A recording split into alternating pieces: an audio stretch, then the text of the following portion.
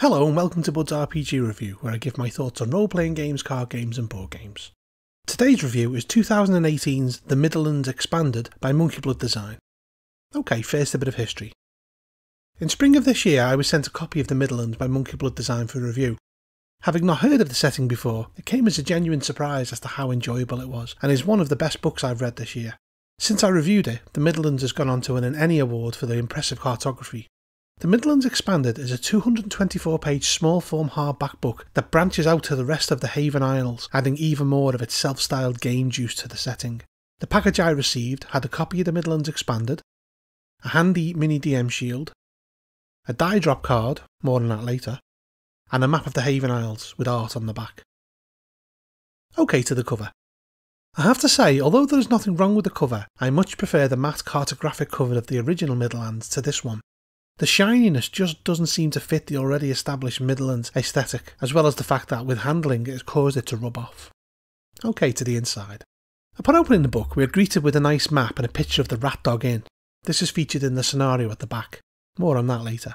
We then have a nice little piece of art and a thank you list, followed by a few content pages, which are noticeably more concise than in the Midderlands, and then a foreword by the Swords and Wizardry creator, Matt Finch. Then we have credits and thank yous to various people, including yours truly. It then follows with some notes on the acronyms used throughout and includes some information on a creature that was cut out of the Midderlands, the Mud Cow. These are covered later in the bestiary. It then launches into the reasoning for expanding the Midderlands to cover the whole of the country and explains how they are known. The lands are Havenland, which is England, Scotland, which is of course Scotland, Emerald, which is Ireland, and Oldenwale, which is Wales. They're collectively known as the Haven Isles. It then has some thoughts on living as a Havenlander and also how you can greenify your campaign with the use of Gloomium. It gives us some information on the highways and tradeways and how they were originally constructed around 2000 years ago by the invading Gomans and are now only generally maintained where there is heavy traffic experienced or where merchants require them. And then it moves on to the woodlands and the forests. Of note here is Avon Forest, which is said to contain the Great White Hart, a 15 foot high bipedal half man, half white stag, also known as Cairn the Antlered God, crowned with horns of iron and supposedly accompanied by a pack of seven huge white wolves.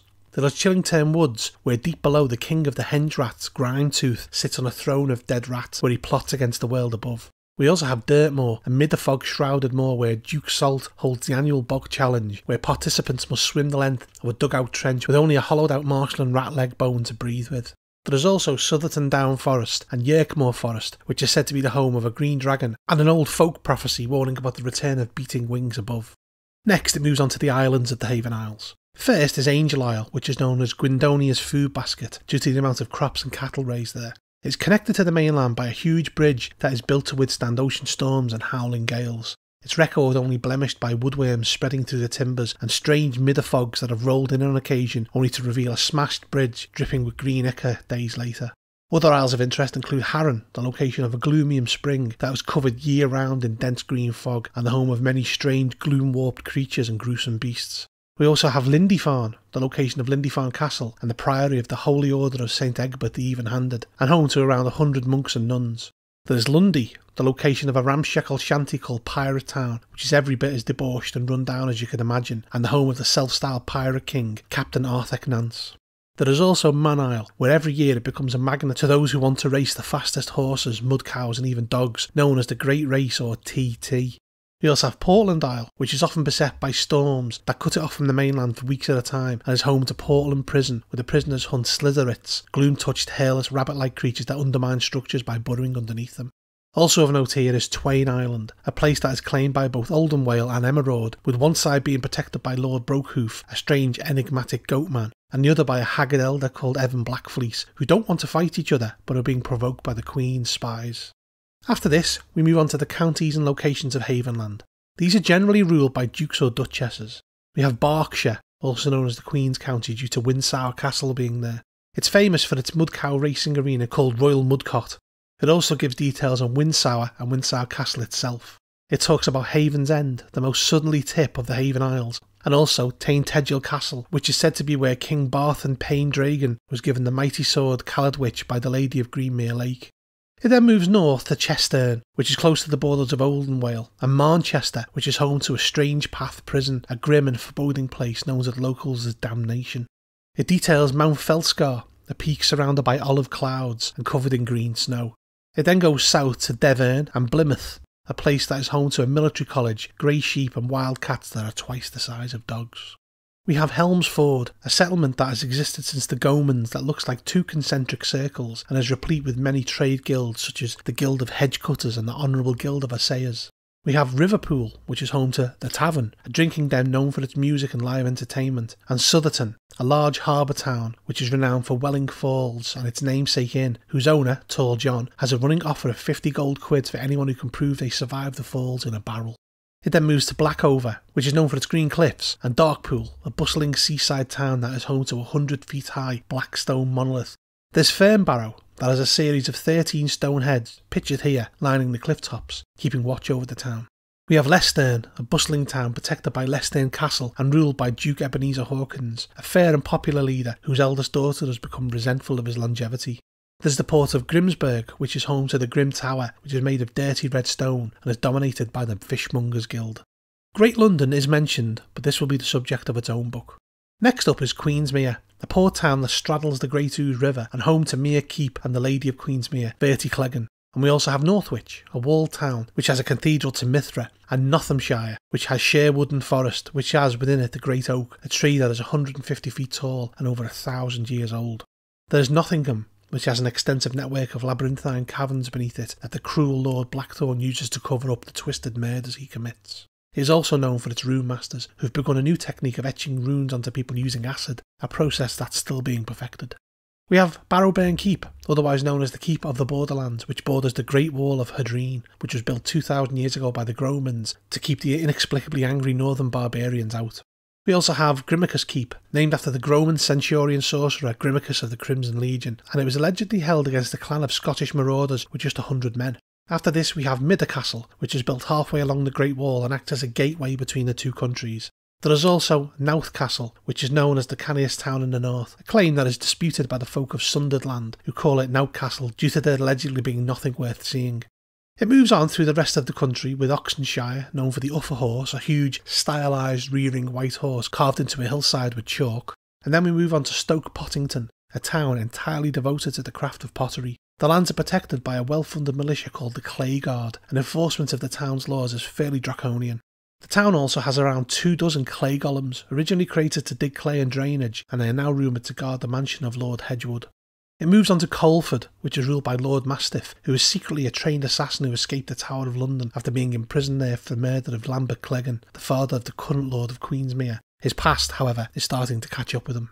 We then have the aforementioned Sunderland, who have a fierce rivalry with nearby Knowth Castle, and then move on to Starford, which has been ruled by the Star family for over 400 years. Here we have the Swanling Ring, an open air theatre that stages plays as well as dog, cock, and goblin fights. It talks about Broome, a large town that is dominated by the Lord's Tower, a large, strangely shaped tower with dagger like appendages. At night, a green beacon is lit atop it to remind the folk that their Lord Assam Salem Hakim is ever present. It then moves on to Coventry, named for the giant lone oak that once served as a meeting place for the Sisters of Heresy Witches Coven. And then we have Bath. Here, Queen Elspeth has been known to bathe in the Goman baths, as it is alleged to ease madness. We then have Havenhenge, the largest stone circle in Havenland, Made of weathered hellstone, its purpose has been lost to most. There are those that know its true power, its magical entrance to Gloom Harrow Deep. We have Hull, a fishing town on the decline that has recently seen the return of Captain Graham Kingston from a 12 year journey to the west, who was shocked to see the state of his home port. We have Scarberg, which is also known as the town under the cliffs. It's almost invisible from land or sea. Finally, in Havenland, we have Yorick, a former centre of Goman occupation that is home to York Cathedral that is built of white stone, whose bishop, Magnus Talheim, is known as the Giant, as he is seven foot tall and powerful of build. Okay, now we move on to Scotland. Scotland, much like Havenland, is divided into shires. Near the south of the country is civilised, but the further you go north, the wilder it gets. It's a place of shepherds, lake druids, and cold, unforgiving mountains. It has a clan system, and each shire is ruled by a thane. Of note in Scotland is Glass Hollow, a town renowned for their ability to work Scottish fire clay, and Kinningross, a blighted shire that is shrouded in fog that is the home to ghosts and spirits. There's the Highlands, the home of monstrous Vaco Magi, loch monsters, and strange magic. It is a wild and dangerous place that is rumoured to be the home of hidden artefacts and dangerous beasts, and there's Mount Nevis, a barren double peak that is the home to the mighty Vaco Magi, giant sorcerers said to control the elements. We also have Edinburgh and its castle that has sat empty for around 200 years as it is occupied by the living dead. Skeletons man the walls and always repel invaders, never leaving. We then move on to Olden Wale. Pretty much like Havenland, other than being more rugged and green, Olden Wale is known primarily for sheep farming and trading. The land is ruled by clans and chiefdoms, ultimately ruled by Lady Cerys Owain, who strives to keep the machinations of Queen Elspeth and Great London away from her borders. Of note here is Glamorgan, which is renowned for its mountains that are known as the Black Jewels due to the numerous coal mines. And we also have Cairndiff, a great port town that has a massive stone castle and is surrounded by a huge stone wall. This is where Lady Owain lives and is generally considered, at least by the people that live there, as the jewel in Olden Wales crown. We have Herresfield, which has a sinister looking cathedral that looms over it, built from the bones of their enemies, and Gwynedd, where the minesweepers hail from. These are people that are sent into mines to clear out slate bangers should they have an infestation. There's Bearmore, with a granite stone head known as the Watcher from the Shore has stood for centuries, and Mount Snow, the highest peak in Olden that fledgling dragon singers ascend in order to further their training. Finally, we have Caer Olden Wale, clifftop castle that has a hundred foot high walls. After this, we have the Serpent Lands. These, on the map, are where Norway should be, but much closer. They are across the Dog Sea, and every attempt at exploring their land has met with the explorers being butchered and left on spikes on the cliff tops. Only one person has ever returned from the Serpent Lands to tell the tale, Olivia Issington. There are various rumours as to how she survived. Some say she used magic to escape, while others say she is a spy for the Serpent Lords. She resides in Great London drinking herself to oblivion. We have details on the city of Hystakal, as well as some bits of information on their society. They have wooden longboats and plan to invade. The colour blue is generally used when describing the Serpent Land. We have mention of Gorlandia, the lands to the south and southeast of the Haven Isles, including Lac Calhei, the grimy port town where trade is conducted. Then it moves on to the coastal waters. Here we have various shipwrecks of note, as well as the gloomy and mutated gloom crab King Blackshell the Cancerous, who is over 600 years old and pulls ships to their doom when the mood suits. It also includes a small table of shipwrecks around the coast and where they sit, and also has a shipwreck generator table. Okay, on to the next section oddities. Here we have strange items that can be found about the lands. Favourites include the Gripe Blade, an awkward weapon generally only wielded by warrior types, monks and rogues that has vorpal effects. The Medium Ear Dagger, an assassin's weapon prized as they make no sound when coming into contact with anything. The Ring of Rat Speech, which, well, allows one to talk with rats and their kin. And the Wood Blade, that are forged from the wood of a tree that has been struck by lightning and can shock opponents in combat. Following this, we have some new spells. This includes Dragon Song, which allows the caster to emit a concussive cone of sound that disintegrates organs and pops eardrums, and Intellectual Intercourse, which allows the caster, after some conversation, to enter the mind of someone and see things they have seen. We then have some of the flora of the Haven Isles, including Netherfern, which grows deep in the Middergloom, and if picked and used as bedding, can allow some to rest in half the time, but can also cause them to lose com points. And Old Hobbs Acorns, which can summon an oak elemental when thrown to the earth. After this, we have the fauna of the Haven Isles. This includes such strange creatures as bog murmurs, which are strange will o' the wisp like things that can enter a creature's mouth, burrow to their heart, and after killing them, reanimate them. There's jelly glooms, huge translucent lime blobs that paralyse those who get tangled in their tendrils, and slate bangers, small imp-like creatures made from slate in the mines of Olden Wale that move with a simian gait and enjoy collapsing mines. Next, it talks about the folks of the Haven Isles and covers the dangers that they face, including various cults, guilds, lone wolves, and pirates. These include the Black Dagger, a lone figure wreathed in black without a steed that speaks via telepathy who primarily steals magic items. The Black Druids, who are a sect that worship Ogthun, master of the Black Void, and attempt to kill as many common folk as possible. We also have the Cutlass, a privateer who works for the Queen, and the Red Lady, who was a wizard and rogue that robbed and murdered travellers and now exists in undeath as a decayed, bloating corpse that murders. Following this, we have a few pages of notable personages. These are the game stats for characters that are scattered throughout the book and includes a sentient mud cow called Eobin that insists on being the best decorated beast in any party and talks in a gravelly broken voice. Some of the characters here starred in a scenario near the back of the book, while others have been mentioned previously. The next section details the new classes. First, we have the Witchfinder, a paladin-esque class that focuses on detecting and rooting out evil. The Highland Shaman, that are a strange cleric and druid hybrid that look designed to lead their clansmen into battle and the Dragon Singer, who are bardish in nature. Following the classes, we have the Bestiary. First up is the Branch Spike Golem, a construct made from forest detritus and vegetation that are infused with gloomium and created by malice-driven druids around henge sites. It also gives us the stats for Gloom Crabs and the Gloom Ghoul, a horrific human mutant that has been corrupted by years spent in the Middergloom. The Gloomium Dragon, denizens of the Middergloom that really come to the surface world, whose breath drains the vitality of its victims, and the Hugging Snow Beast, a creature that is covered in spines that kills those that inject with its bear hug attack. We also have the Leviathan, a colossal monstrosity that lives in the Dog Sea that is a mile long and a half mile wide and has a mix of piscine forms, including tusks, blubber, and tentacles. It is known to pull ships to their doom and even beach itself and destroy coastal settlements, although this is rare. It also has a foul offspring called Leviathan Spawn. After that, we have marsh trolls, tattooed shamanic creatures that usually walk around naked, and then the mud cow with their strange tentacled and horned head that are used as pack beasts throughout the Midderlands. Moving on, we have salt misers, a race of demon-esque spine-covered slug-like creatures that live on the moors, and also the shark folk, bipedal, half-man, half-shark creatures that live in the sea, but that can also come onto the land. There's the horrifying spawn of Morgontula, a giant spider-like creature that is covered in spikes and green pus-filled boils. There's the terrifying tentacled horrors of the Middergloom, which as you might expect are tentacled horrors that live in the Middergloom that come in various sizes from lesser horrors to ancient ones. And there's also the Vaco Magi, distant chaotic cousins of storm giants that live in the Scottish Highlands who wield lightning. Following this we have the scenario, the Rat Dog Inn. I'm not going to spoil it here, but players of a nervous disposition should probably avoid it. And we also have a fully realised location, Brig tour that has been put together in order to be worked into a scenario. Following this, we have several pages of adventure hooks to do with places across the Haverland Isles. That, again, I'm not going to spoil just in case a budding DM decides they like one of them. And this is followed by details of some of the more interesting hex locations, places that fall slightly out of the remit of including them within the various place details earlier on in the book, possibly due to the expanded descriptions. Although I'm not going to spoil them, a personal favourite is Ramsbottom's Moonboat, which actually made me laugh out loud when reading it.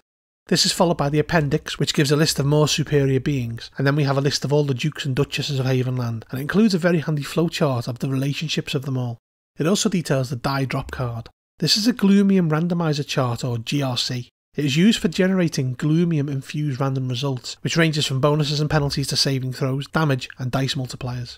If the PCs are allowed to roll on the chart, the GM is advised to let the adversaries also roll on it. You can either roll and check your results or literally drop a die onto the table and read it where it lands.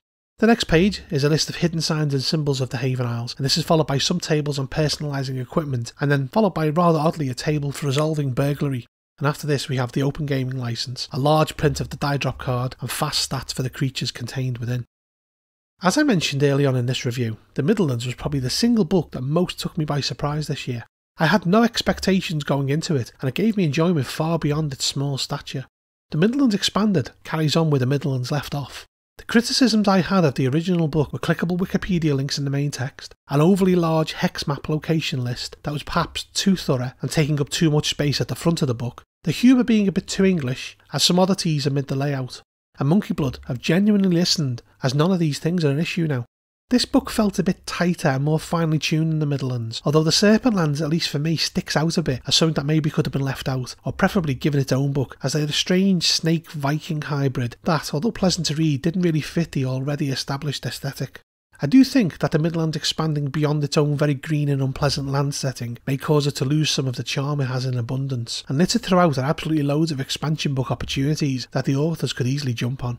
The art ranges from good to outstanding, especially in the B series, and as per the Midderlands, the production values are as good, if not better, than many much larger, much better funded gaming companies. And again, has lots of small touches throughout that show the love and care that has been taken with the setting, such as the incredibly handy double bookmark and the fact that no space throughout it is wasted. Every page has something to offer. OSR is very popular at the moment, and the award winning Midderlands can hold its head up with pride at the wonderful place they've created that I really wouldn't want to visit. I give the Midderlands Expanded a very deserving 8.5 out of 10. If you enjoyed this review, please make sure to hit the thumbs up, subscribe to my channel, and check out my other reviews. Also, if you're interested in buying this product, I've put some links below. Lastly, if you enjoy what I produce here, then maybe think about supporting me on Patreon. Bud out.